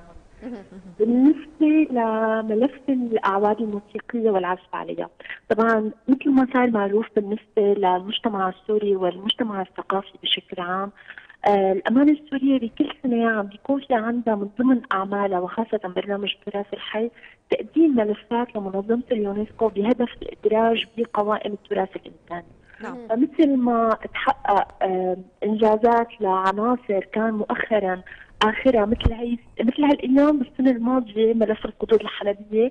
هي السنة نحن كمان بانتظار نتيجة ملف الأعواد الموسيقية صناعتها والعزف عليها. وطبعا هذا الملف جاء نتيجة طلب من الجمهورية الإسلامية الإيرانية آه، لا تقديم ملف مشترك بينه وبين آه، سوريا واللي هو ملف الأعواد الموسيقية. نتيجة لوجود المجتمعات بكلا البلدين بتمارس هذا العنصر يلي بتصنعه ويلي طورت من آليات تصنيعه وآليات العزف عليه بحيث آه، ما آه، بقي بشكل أو بإطار الآلة التقليدية التراثية وإنما تطور لشيء أكاديمي وصار يعزف بمجموعات موسيقية ضخمة سيمفوني وغيرها. طبعا بالنسبة للملف نحن بال 2018 لما تقدم آه الطلب من الجمهورية الإسلامية الإيرانية باشرنا مباشرة بإعداد آه جرد كامل لكل الممارسين والصانعين والعازفين يلي بيرتبطوا بالعود سواء كانوا من الرجال أو النساء. نحن مثل ما بنعرف إنه العود هو آه الآلة السورية المحببة لكل المجتمع. فما في بيت سوري على امتداد الجغرافيا السورية بيخلوا من آلة العود حتى يعني مجموعة من الحكاية بتقول إنه كان آه العود يطلع مع جهاز العروس. آه فقمنا برصد مجموعة من المصنعين وعازفين العود وطبعا سوريا غنية بهدول الأشخاص اللي نفتخر فيهم. آه وقدرنا آه نوفق ونجمع ما بينهم آه بحيث انه صرنا نكون موجودين معاهم حتى نقدر ناخذ منهم المعلومات الأساسية سواء كانوا بالشام أو بحلب أو حتى بحما أو حتى أيضا بالسويدة. فكان التركيز على هدول الأربع محافظات. قدرنا نتواصل معهم نعرف معلومات عن العود آه، لحتى نقدر نصيغ هي المعلومات اللي هي نابعة من المجتمع المحلي الممارس ونقدر نحطها بقلب النموذج الخاص بالإدراج. طبعا آه، العمل كان طويل. والعمل كان متعب لكن كان جميل بوجود أشخاص فعلا محبين أشخاص قدموا كل الدعم وكان في عندنا هذا الشغف يلي بيشبه شغفنا لحتى نقدر نوصل تراث بلدنا ل آه، كل الأشخاص لكل المجتمعات حتى يعرفوا سوريا وجهها الحضاري ووجهها التراثي المشترك أكيد ذكرتي حضرتك نقطة كتير مهمة أنه نحن بكل بيت سوري كنا نلاقي هاي الآلة موجودة يعني. آه ولو كان يعني من باب أنه نحن اليوم ما لنا ولكن كان منظرها محبب ضمن البيت. ومن خلال حديثك اليوم قد إيه اليوم نحن نحافظ على هذا التراث وخاصة على العود السوري؟ طبعا يعني آه إذا بنرجع شوي نحن هلأ آه مثل ما بيقولوا بنقلب وراء الزمان نعم. حتى نكتشف هذا العود قديش كان مهم. آه أعظم وأهم الملحنين والعازفين والمؤلفين العرب والسوريين حملوا آه أعواد هي صناعة عائلات سورية كانت معروفة بصناعة الأعواد. وعرف العود السوري قديش هو عود دقيق قديش في عنده روح. أنا بتذكر هلأ آه بال 2018 أستاذ حسين آه هيك حابه يتذكر معي. لما كنا موجودين معه بمشغل حضرته كنا عم نحكي فهو قال جملة كثير حلوة إنه أي إنسان ممكن يصنع آلة من خشب لكن القلال اللي بيقدروا يصنعوا صوت. وفعلا الصناع السوريين والعازفين السوريين قادرين على تصدير هذا الصوت. صحيح. نحن آه، وبعدين هذا العود بممارساته بطقوسه كثير موجود بحياتنا. يعني ما في عنا حالة فرح إلا بيكون فيها العود. ما في ذكر ديني إلا بيكون موجود مثلا من ضمن الالات المرافقة كتخت شرقي. آه هو مرتبط بالنساء هو مرتبط بالحالة الروحانية مرتبط بالحالة الوجدانية. فكل هاي الممارسات والتقنيات اللي عم تتناقل جيل بعد جيل هي جزء مهم من تراثنا. ونحن هلأ بمصر حاجة لحتى نحافظ على هذا التراث. صحيح ونحافظ على انتمائنا وهويتنا. صحيح اليوم بما عم نحكي عن التراث السوري قديش مهم الحفاظ عليه قديش مهم اليوم إدراج العود السوري على قائمة اليونسكو لحفظ التراث؟ أستاذ حسين ومثل ما قلنا ببداية حديثنا يعني نحن أساسا كانت الحرب هي ضرب الحضاره والفكر الثقافي أول أبجدية أول نوته موسيقية. فلما نقول إدراج العود السوري وحكيت إنه العود السوري أنت صنعته بإيدك لأنه ما لقيت مثيل لا بأي بلد حاولت ممكن تعطيني عود لا العود السوري له خصوصية وهو تراث جزء من تراثنا اليوم. صحيح هلأ أول شيء بلدنا يعني يعني الشام يعني هي مو أول مرة بتصير عليها هاي الهجمة. صحيح. يعني عبر التاريخ في كثير هجمات وقامت الشام ورجعت. صحيح. يعني مو مو هي أول مرة. يعني كان آخر مرة التتار وبعدهم العثمانيين والفرنسيين وما بعرف شو إلى آخره. وترجع الشام وتقوم. ولا هاي بعد الحرب قامت الشام كمان. أما شيء ما يربط العود بالمكان يعني هو أصلا مرتبط بهذا المكان. الأكاديين 3500 قبل الميلاد 4000 سنة قبل الميلاد. في للآن قرية فوق الحسكة اسمها كالكميش. المكان اللي هو يعني اختصار لكلمة جلجامش الاكاديين هون بهذا المكان. بهذا المكان لقوا تماثيل لعازف عود ترجع حوالي 4000 سنة قبل الميلاد. فمن عندنا يعني يعني هو مثله مثل العود مثل الورد الشامي صحيح. مثل بس هي الخطوة مهمة إدراج العود على قائمة اليونسكو لأنه للأسف كل القصص اللي طلعت من عندنا بتلاقي الدول الأخرى بتحاول تسرقها وتنسبها لإلها فكريا وثقافيا وبتروح على متاحف عالمية بتلاقي آثار سورية كل هي التفاصيل. يعني كل الدول بتحاول تسرق اليوم منك وتنسبها لها لما نقول صحيح. العود السوري إدراجه على قائمة اليونسكو اليوم لحفظ التراث هي كمان علامة فارقة عالميا. صحيح. هلأ موضوع موضوع العود باليونسكو هذا يعني شيء مفروغ منه هذا شيء لنا هلأ بالبداية كان في موجود بالملف إيران موجودة بس صحيح. هن اعتذروا وهن ما كانوا شاغلين اكاديميا بشكل صحيح. أه وشيء ثاني إنه يعني يعني ما عندهم هي الأوابد الأثرية اللي هي صحيح. آه توثق بهذا العمق اللي هو مرتبط فيه العود بالمكان هون. بالأرض بالشعب. آه اشتغلت أنا مع الامانه مع الامانه السوريه أي مع الامانه السورية مع الاختريب آه ومديتهم بكثير معلومات وحتى كمان في ملفات جابوا لي إياها ورديت أنا حاولت إني نقحها وكذا إلى آخره. وحتى كمان بالاجتماع الأخير مع اليونسكو كنت موجود. أنا بالقاعة اللي هي اونلاين مع اليونسكو لما اعتذر اعتذروا الإيرانيين. آه وبصراحه كثير فرحت إنه تقدم المشروع باسم سوريا. لأنه هو باختصار سوري سوري. بامتياز واحد. ما له دخل. مع احترام لكل الدول المجاورة وكل علاقاتنا بكل الدول. صحيح. بس يعني ما له دخل يعني العود إلنا هو هذا التراث السوري صحيح. إيه. خلينا نحكي اليوم عن تجربتك كعضو لجنة تحكيم بالمسابقة اللي كانت في بيروت.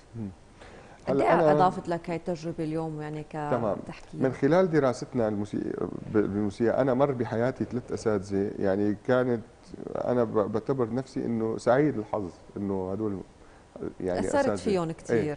لا ثلاثة وكل واحد منهم هرم يعني كان مثلا الأستاذ نديم درويش رحمه الله هو ابن الشيخ علي درويش.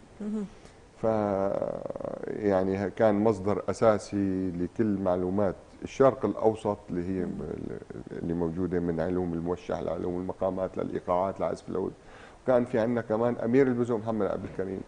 كمان عنده آلاف الستايلات من من طرق العزف اللي هو اللي هو مبتكرها وورثانا ومطورها آخر شيء كان اخرهم منير بشير يعني هو من العراق ولكن ما سوري بس يعني فتح لي مجالات كثيرة على الموسيقى التأملية على الموسيقى الروحية صحيح. على مقامات البلاد الثانية. فهذا خلاني إني أنا شوي مميز كعازف عود. لما بدينا نعلم بدينا بالأطفال. كانوا ثلاثة أربعة يعزفوا بهاي الطريقة. اليوم في 30 ألف. يعني هذا قديش بيسعدني إني أنا مثلا أجي عم بسمع دراما سورية بقول هذا أنا ولا مو أنا هذا أنا ولا مو طلعت مو أنا. نحن كمان سعيدين بوجودك نعتز وبنفتخر إيه فيك. فوجودي كلجنة تحكيم ابتدى مو من اليوم ابتدى من التسعينات. كنت مثلا عضو لجنة تحكيم بمسابقة العود الأولى صحيح. في آه، الأردن ثم في لبنان ثم عودة إلى لبنان ثاني ثم في اليونان ثم في تركيا في تونس في مصر في الإمارات في سلطنة عمان في الكويت في قطر. معد آه، مهرجانات للموسيقى ومسؤول إن شاء الله بتستمر. إيه وعضو لجنة تحكيم. إن شاء الله بتستمر بهيدا دائم النفس وحتى هون في سوريا بقيت أكثر من 10 10 سنين عضو لجنة تحكيم في للمنتسبين للنقابة الفنية. إن شاء الله بتستمر بهي الطاقة. بس معنا مداخلة من المايسترو عدنان فتح الله عميد المعهد العالي للموسيقى حول إدراج إدراج ملف العود السوري على قائمة اليونسكو لحفظ التراث. يسعد صباحك مايسترو. يسعد صباحكم. يسعد صباحك واهلا وسهلا فيك. شريكنا أنت بكل الانجازات من الاسماء اللي بنفتخر فيها كمان أكيد. كثير اليوم السوريين المميزين أكيد. تسلميني الله يخليك ويسلمك. أستاذ عدنان عم تسمعنا؟ إيه عم بسمعكم عم بسمعكم. خلينا نحكي عن هي الخطوة. إدراج العود السوري على قائمة اليونسكو لحفظ التراث. قديش مهم اليوم؟ وأنت يمكن من بداياتك مايسترو عندك مشروع مكتبة خاص. موسيقية سورية. هذا كثير مهم بالمستقبل لحفظ التراث السوري. أول شيء أول شيء بالنسبة لإدراج آلة العود ضمن قائمه اليونسكو بالنسبة لنا يعني بيعنينا كثير لأنه آلة العود هي مرتبطة بثقافتنا السمعية ومرتبطة ب أكيد هذا هذا هذا الارتباط هو ارتباط ارتباط تاريخي. يمكن ما ما في بيت أو ما في عائلة بيخلق بيخلق فيها يعني بتخلق من من آلة العود أو في حدا من أفراد العائلة بيعزف على آلة العود. وصراحة يعني ما هي ما ما وقفت هون القصة. يعني نحن تطورت سواء كان آلية تدريس أو آلية العزف على هي الآلة تطور جدا جدا مهم. وعلى مستوى الصناعة كمان يعني في صناع نحن بنفتخر بنفتخر فيهم على مستوى العالم العربي والعالمي منهم الأستاذ الأستاذ حسين حسين سبسبي اللي اليوم عم عم عم يساهم بتقديم العود العود السوري ك ك كصناعة طبعا غير أكيد غير تاريخه اللي بنحس آه اي أكيد غير تاريخه بي بي مع مع هي الآلة كعازف وكمؤلف. فهو هون بتتجلى أكيد أكيد أهمية إضافة هذا هذا العنصر. وبتمنى أكيد يكون في جهود لبقاء هي الآلة بشكل بشكل مهم سواء كان بمعاهدنا عم تعنا بالموسيقى أو بقاء على مسارحنا بمختلف الأنماط لأنه آلة العود هي آلة موسيقية قادرة على أنه تعزف جميع الأنماط. وأكيد كثير من الموسيقيين السوريين وعازفين العود أكيد قدموا قدموا مشاريع. أثبتوا فيهم قدره هي الاله و... و... وامكانياتها امكانياتها المهمة سواء كان ك... كاله تعزف سولو أو اله تعزف مع مع أوركسترا أو مع تشكيل موسيقى مثل مثلا فيني نقول مثلا الجاز أو أو غيره. أو إيه فهذا يعني هون أنا هون يعني بتجلى أهمية إضافة هذا أكيد. شكرا مايسترو للمداخلة وبنتمنى لك التوفيق أكيد. شكرا لحضورك. شكرا كثير لكم وحابب كمان إنه أسلم على الأستاذ الأستاذ حسين. عم يسمعك. حبيبي عم بسمعك حبيبي أستاذ عدنان الله يطول عمرك. سبسبي اللي اللي له له أكيد فضل كثير من من من عازفين العود مثل ما قلت لك بعده بعدة مجال مجالات وهو اللي قدم لنا كتاب بجهوده كتاب عن عن عن الأعمال الموسيقية التي كتبت لآلة العود معها في كتاب واحد. وصراحة نحن لليوم نستفاد من هذا الكتاب وبنعطي طلابنا وحتى نحن كعازفين نستفاد من هذا الكتاب ونعزف هي هي الأعمال. فهذا كمان يعني وجب إنه إنه إنه اتشكروا وصبح عليه أكيد. شكرا أستاذ عدنان شكرا. شكرا كثير لك. رح نرجع لعندك أستاذ حسين ورح نرجع لرحلة الموشح من الشام للأندلس. يمكن هاي أول حفلة بتصير بعد الحرب, الحرب. على سوريا. صحيح. خبرنا عنا أكثر عن هاي التجربة كيف كانت وكيف كان دورك ضمن الحفل؟ صحيح. كان آخر حفلة هي قبل الحرب كان طريق الحرير 2011 وكان أول حفلة بعد الحرب هي رحلة الموشح. اللي اشتغلت فيها التنمية مع وزارة السياحة مع وزارة الثقافة. خبرني الأستاذ طاهر ما عمل لي عم لي حسين إنه بدنا نعمل كذا وكذا وكذا وكذا. قلت له أوكي.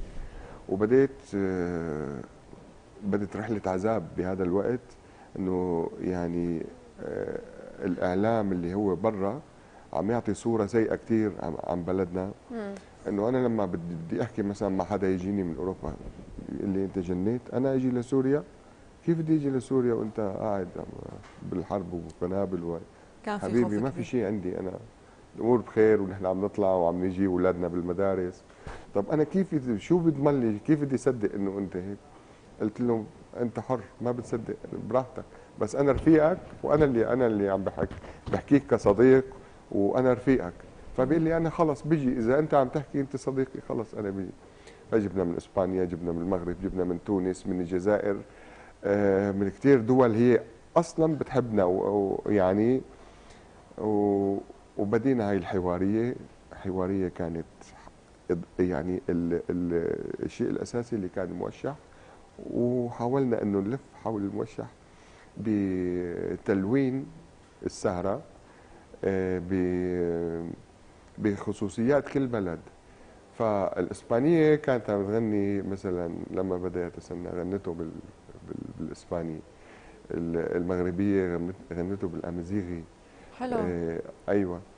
العربي اللي هو من هون كان صفوان العابد فكان عم يغنيه بطريقتنا وطريقة أهل حلب. الجزائري كان عم يغنيه بطريقته أيوه بطريقته. فكان فكان هذا التناغم كان جميل جدا. تناغم موسيقي ثقافي. أيوه أضاف كان. كل لهجة كل تمام. بلد أضاف شيء من روح بلده على الأغنية أكيد. تمام. فهذا الانسجام كان يعني شيء لا يوصف وكان كثير تنفيذ هي الفكرة صعب. لأنه ما في وقت إنه ما في وقت بروفات غير على النت مثلا هي طرح الأفكار إلا فقط بالاتصالات ان كان عبر التليفون أو النت إنه بدنا نعمل هيك بدنا نسوي هيك. نعم. إجوا قبل بيوم بيومين وبدينا إنه تشوفيني مثلا أنا بالفندق بهي الغرفة رد ارجع على الغرفة الثانية على الغرفة الثالثه ونقول لهم شو بدنا نسوي شو بدنا نعمل لحتى قدرت إني سيطر على الفكرة اللي نحن بدنا هي وكانت حفلة من أهم حفلات هي اللي وأنا فرحان وكثير سعيد بحس انه إنه كانت الحفلة بقصر العظم بحيث عمل حميمية ولم كل الفنانين الدراميين ممثلين اشتقنا لهي الأيام اشتقنا. أيوه. أيوه. اشتقنا واشتقنا نشوف اللمه وريحه الياسمين بمكان شامي قديم والموسيقى وهيك. فكان يعني إحساس لا يوصف. إن شاء الله يا رب هيك بنشوف حفلات أهم وأجمل. نحن كنا سعيدين بوجودك آه، اليوم. نحن بنعتز وبنفتخر فيك واكيد بدنا نوجه التحية للمايسترو عدنان فتح الله وللأستاذ ريم إبراهيم آه، لنعقب على مشروع ادراج العود السوري على قائمة اليونسكو. بوجود حضرتك أنت عازف و فينا نقول مؤلف موسيقي وصانع آلة العود نعم. جزء من تاريخ هيدا العود السوري. نتشكرك فخورين فيك وسعيدين فيك ونتمنى كمان نحضر لك حفلات آه، تبقى بهيدا النفس وهيدا النشاط. شكرا كثير شكرا لكم شكرا لكم صباحكم سكر. أهلا وسهلا. نورت صباحنا. وهيك زدت لطف عليه وجمال يعني. نتمنى لك كل التوفيق ونشوفك بمشاريع حلوة وكمان بدراما تصويرية موسيقى تصويرية كمان جديدة. إن شاء الله. شكرا. تبقى مثل افتح يا سمسم وزير سالم وهدول القصص اللي بيضلوا بالبال على طول. الله يخليك. شكرا. شكرا, شكرا أستاذ حسين. مع عالم الموسيقى والسوري اللي بنعتز ونفتخر فيه دائما. السوري له بصمة خاصة صحيح. رغم كل الظروف يمكن اللي مرقنا فيها لكن الموهبة والحس والثقافة والفن والموسيقى السورية لهم بصمتهم. لهون بتكون رحلتنا الثقافية والفنية والصباحية برحلتنا صباحنا غير خلصت خلصت موعدنا بكرة بنفس التوقيت. من هلأ لبكرة تبقوا بألف خير أكيد. شكرا نور. بدي أتمنى لك يوم حلو مع إنه ما بعرف حاسة أنا صار وراي عتمة يعني. بلشت تتغيم بلش هيك اليوم الطقس يفوت بيموت شبنا اليوم بيموت بيموت جديد.